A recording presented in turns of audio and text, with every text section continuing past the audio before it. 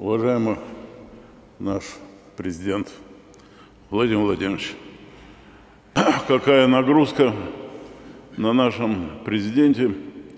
Но, слава богу, он у нас физически развит, спортивный.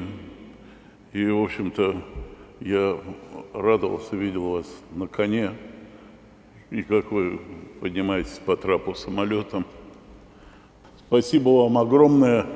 Живите долго.